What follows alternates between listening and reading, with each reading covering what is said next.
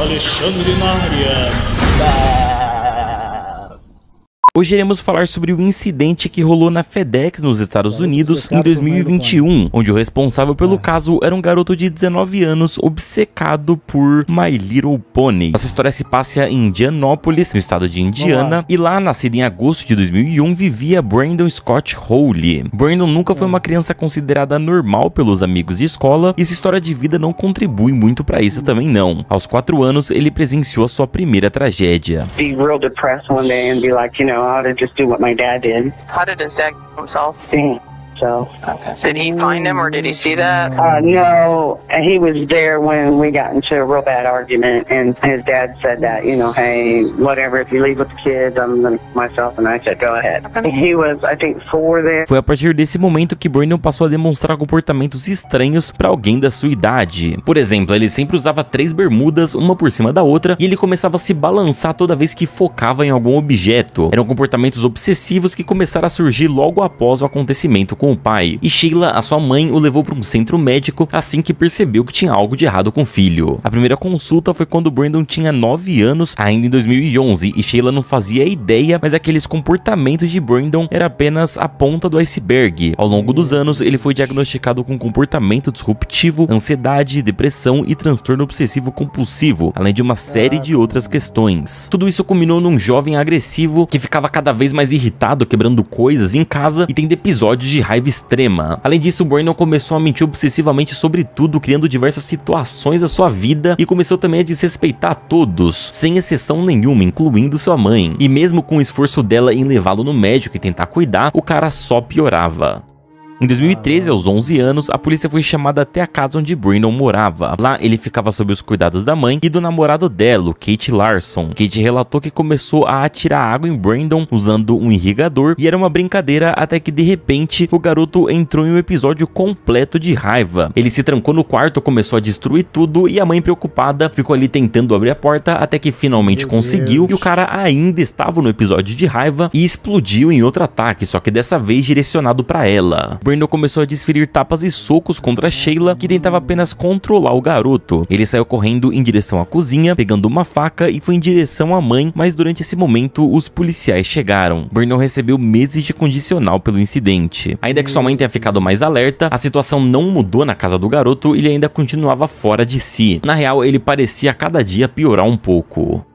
Eventualmente, ele largou a escola parando os estudos por volta do sétimo ano. Sem contato com colegas, e Brandon teve sua mente invadida por uma nova obsessão, o My Little Pony. Sim, o desenho infantil. O quarto de Brandon era tomado de adesivos, desenhos e pelúcias dos personagens, aos quais ele não escondia o seu amor. Ainda que essa obsessão fosse um tanto estranha, a mente dele ia para lugares muito mais obscuros. O histórico de internet dele mostrou que ele tinha muito interesse em tiroteios em massa e em supremacia branca, não em por que eles Eita, aconteciam, mas em como tudo era planejado e executado. Isso levou a Fundação de Crianças de Riley a entrar em contato com a família para entender o que estava acontecendo. Para eles, Brandon disse que aquilo era só uma curiosidade, que ele não perderia seu tempo fazendo algo que causaria traumas nas vidas de outras pessoas e que, enfim, ele só era curioso sobre o assunto. Além disso, ele disse que sentia empatia ali pelas vítimas de tudo que acontecia, pelas famílias e conseguiu transparecer que era só um interesse juvenil pelo assunto. E convenhamos, isso realmente acontece, mas no caso dele, a situação toda tinha que ter sido analisada com bastante cuidado. Uhum. No dia 2 de março de 2020, aos 18 anos de idade, Brandon pediu a sua mãe que o levasse até uma loja de armas para que ele desse uma olhada nos produtos à venda. On the way to the gun store, we saw a sticker that said hashtag stop. Uh-huh. And he's like, "Huh, there's your sign. And I was like, hmm, okay, well, if you buy a gun, there's your sign. You know, I got to take that away from you. You know what I mean? Right. So, and he did buy it without bullets. Por sorte, a loja estava sem munição naquele dia. Sheila estava preocupada com os rumos que aquilo poderia tomar, então decidiu Cara. agir, ainda mais por sentir que o garoto poderia tentar tirar a própria vida. Logo Mano, mas cara, é... ai cara, como é que vai permitir, mano, o garoto ele tenha, ele sabendo da situação dele, do jeito que ele tava, tá ligado? De comprar uma arma, tá ligado? O brabo, assim, de lá, embora é, aqui tem muita gente que tá querendo que isso aconteça aqui no Brasil, só que nesses casos, meu irmão, é muito complicado, cara. Por um lado, é até bom meio que tá dificultando, porque aí meio que impede de uns malucos desse, infelizmente, né? Eu falo infelizmente porque quem não é maluco e realmente quer comprar por uma boa, uma boa causa, né? Ok, eu até entendo, mas ao mesmo tempo tem que ter realmente essa dificuldade, porque, mano, a gente não sabe, mano, que é o maluco que tá. Aí o cara, o moleque, o moleque foi numa loja, ah tá, vou comprar aqui, pronto. Não pegou histórico, não tem nada, tá ligado? Tipo, simplesmente foi numa padaria, literalmente, como se fosse uma padaria, ah, eu vou comprar aqui 10 reais de pães, vou pegar aqui 5 reais de queijo com presunto aqui também e me dá essa arma aqui, por favor, que eu tô querendo também. É tipo assim, tá ligado? Lá é meio complicado, mano. É, é, um, é um assunto que é muito difícil de ser falado, porque sempre vai ter aquele que vai concordar e vai discordar de mim. Eu já acho que, assim, embora tenha essa dificuldade muito grande até para quem tem, assim, intenção apenas de se proteger, inclusive, né, pessoas que já trabalharam com isso, eu também já trabalhei com isso, mas graças a Deus não tem nada, assim, que, ah, poxa, o Alexandre ele fez inimigos no trabalho dele, eu já trabalhei de vigilante, já trabalhei armado, mas graças a Deus eu nunca fiz nenhum inimigo, assim, a esse ponto, tá ligado? De precisar me, me proteger, proteger minha família, inclusive meu filho entrou aqui agora, né, filhão? Brincadeira, né? Gra... Lindão. Graças a Deus eu nunca precisei ter esse tipo de pensamento, mas enfim, eu entendo quem é, tá ligado? Que, que tem esse pensamento, mas ao mesmo tempo tem que ter, né? Essa segurança meio que tem aqui de certa forma, de, de, meio que de dificultar, né, por assim dizer, aqui no Brasil. Logo no dia seguinte, ela abriu um boletim de ocorrência relatando os traumas do garoto e o que ela achava que poderia acontecer caso seu filho seguisse com seu plano. E no dia 3, Ai, diversos oficiais foram até a casa deles. Brandon havia entrado em um estado de nervos incontrolável, o que preocupou a mãe. Os oficiais o colocaram numa algema e a maior preocupação do garoto era que nenhum policial ali vasculhasse seu computador. Obviamente fizeram isso e encontraram ali no histórico diversos sites extremistas com imagens gráficas e tudo mais, e imediatamente ele foi levado para uma clínica médica, onde confiscaram a arma dele, depois levaram ele para um hospital psiquiátrico, e a ideia era que ele passasse ali pelo menos três meses para poder, enfim, se recuperar e tudo mais, porém ele passou menos de duas horas no local, porque o garoto Meu negou Deus. ter qualquer questão mental e o médico acabou liberando. Meu Deus do céu, que incompetência. Caralho, é sério? Ah, não, eu tô bem, eu tô são. Mas o teu computador tava cheio de coisa. Mas eu sou tranquilo, eu tô, eu tô bem, confia, confia. Confia, eu sou, eu sou, eu sou do bem, eu sou do bem, eu sou, eu sou, eu sou, eu sou normal, eu sou normal. Mas você tava cheio de coisa no computador de extremismo, não sei o que, e ah, mas, não, mas tô bem, tô bem, porque daí é só curiosidade só, pô, confia. Registros de que Brandon tenha passado por qualquer tipo de avaliação psicológica nesse dia. Alguns dias depois desse fato, uma detetive entrou em contato com Sheila sobre a arma que foi confiscada. I just needed to talk to you about uh, what happened with Brandon. My role in this is simply just to see if we're going to file a retention case. If they file a retention case, he would also be uh, deemed to be a dangerous person, which only means that he wouldn't be able to purchase a firearm. This isn't a criminal record, and it's not. You can't even see it. Like if somebody were to search for for criminal cases and stuff, these cases yeah. don't go into there because they're just civil. Once they get filed, like if I needed to check on one, um, I can't even do it. I have to send an email to the prosecutor's office and ask them to look because they're the only ones that can access it. So to see like what the status of it is. No mês seguinte, a casa dela foi novamente visitada pelo FBI. Um dos agentes pediu ela para conversar com Brandon e durante a conversa ele perguntou o que, que o garoto queria fazer da vida e ele respondeu que queria talvez aí entrar no FBI. Só que o agente disse que isso não era uma opção para ele de maneira alguma e isso não deixou o garoto feliz. Essa visita deixou a vontade de Brandon muito clara para os agentes. Ele era um possível assassino em massa. Ele era solitário, tinha companhia de ninguém, não queria companhia de ninguém também, se sentia injustiçado e rejeitado e tinha todas essas questões aí envolvendo ali ideações suicidas e também a sua paixão por armas. Porém, talvez por ter levantado ali suspeita da sua mãe e do próprio FBI, o garoto deu uma segurada.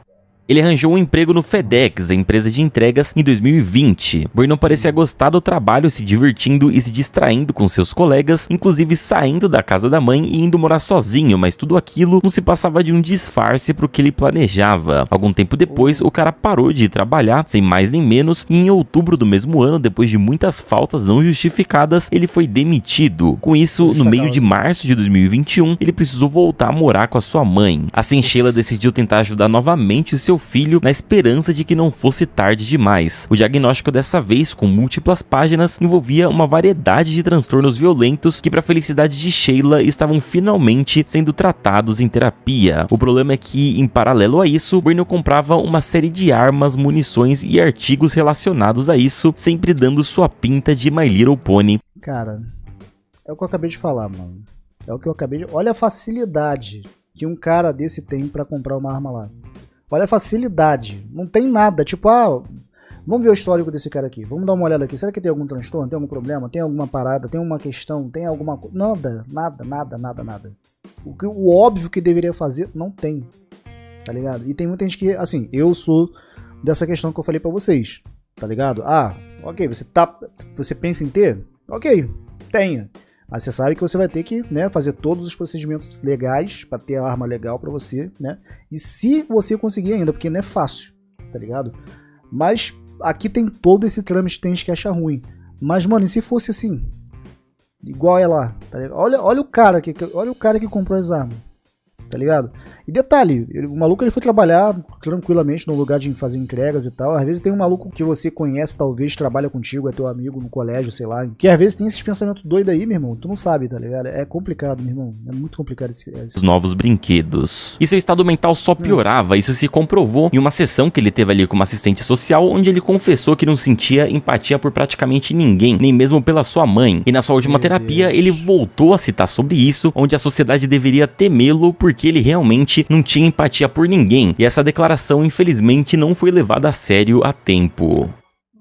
O dia 15 de março de 2021 começou normalmente para Sheila. Antes de voltar para casa após o trabalho, ela passou em um restaurante para comprar um jantar para ela e pro filho, que aparentava estar mais feliz do que o comum. Os dois comeram e Brandon foi tomar um banho antes de dormir. Eles se despediram dando boa noite e cada um se recolheu pro seu quarto para encerrar o dia. Hum. Porém, no mesmo dia, por volta das 11 da noite, Brandon saiu de casa e estacionou sorrateiramente na frente de uma das unidades da FedEx. Ele entrou com facilidade no local e assim que estava lá dentro, sacou sua arma e abriu fogo contra todos que estava à vista. Inclusive, sua arma tinha adesivos relacionados à sua obsessão com desenho. Brandon caminhou pelo lobby da empresa atirando em tudo que se movia. Quando se deu por satisfeito, ele saiu pela porta da frente e começou a atirar nas pessoas que estavam ao redor da empresa e em pouco tempo os serviço de emergência começou a receber ligações. I think there's possibly multiple shooters. I hear them outside. I'm in the control room. There's three of us in here. Okay, so what I need for you guys to do, like I said, stay down, make sure your door is locked. Put something against that door if you can to keep yourself safe, okay? Is anyone upstairs? Okay, they're on the way. They're on the way. There's somebody on the parking lot with a rifle shooting. We got the guy in here. We got him in here. He's been shot. Okay. He's in our shack with us. Hey, stay on the line for me. Let me get medics on the phone. I'm not going to hang up, okay? Stay with me. There is at least one person down. Uh, send an ambulance or two, please. Yeah, we have the ambulance and the officers en route. But they have an AR-15. I'm not sure how many other guns they have, but I know they at least have one assault rifle. They're still shooting. Okay, I, okay, stay on the line. Still, they're already on the way to you, okay? but stay on the line with me. Keep, your, keep yourself safe. I need you to let me know anything that happens, okay?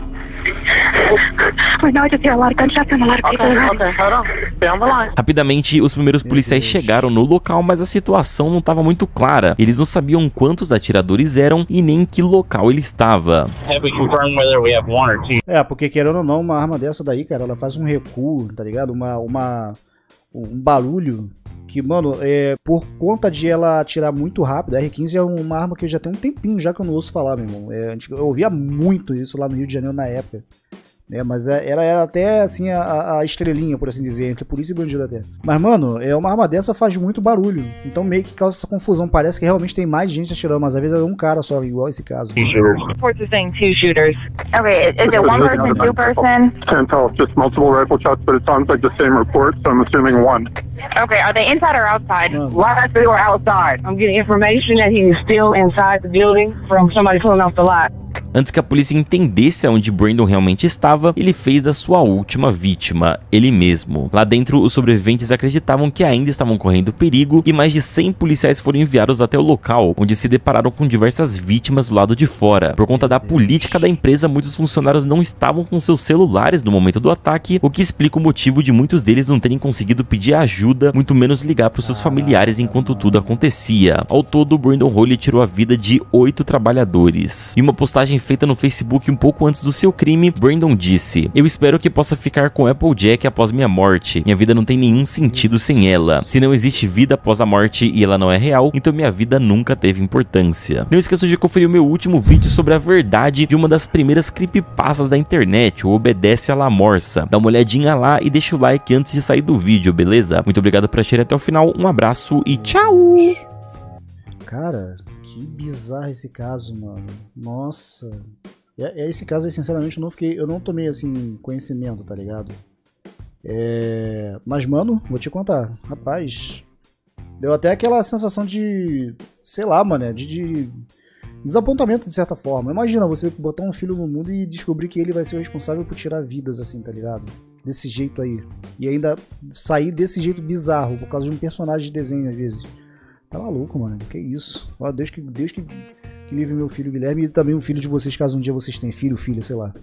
Porque eu vou te contar, meu irmão, deve ser uma coisa horrível pra família. Saber que a, a o filho, a filha, o neto, sobrinho, sei lá, meu irmão, foi por esse caminho aí, tá ligado? É, que Deus tenha, né, os familiares daquelas pessoas que foram vítimas de verdade desse maluco aí. E, mano, sinceramente não sei nem o que dizer, meu irmão. É, pesado, pesado, meu irmão. Pesado demais. Bom, o link vai estar na descrição, gente. É o canal do Stax, Stack, acho que é isso, né? Não sei, é Stax Gustavo Pinheiro, né? Eu sou até inscrito no canal dele há tanto tempo. Não sei se eu cheguei a ver um vídeo dele. Eu acho que eu cheguei a ver sim, mas não sei se foi em off ou se foi em, em vídeo, assim, pra vocês. Mas enfim, já, já vi algum vídeo desse rapaz aqui. Ele é bem show de bola o canal dele. Tamo junto, gente. Obrigadão mais uma vez. E é isso, não tem muito o que falar, cara. É. Só não façam merda também, por favor. Né? Se vocês estão precisando de ajuda, peçam ajuda, tá? Se vocês, tipo. Estão vendo que o mundo é uma merda? É, o mundo é uma merda. Saiba disso, é uma merda. E vai continuar uma merda. A tendência é só piorar. Então, se você tá achando que o mundo é uma merda e isso tá afetando você, pede ajuda que é melhor. Pra vocês não ser mais um desse maluco aí, tá ligado? Até a próxima. E valeu.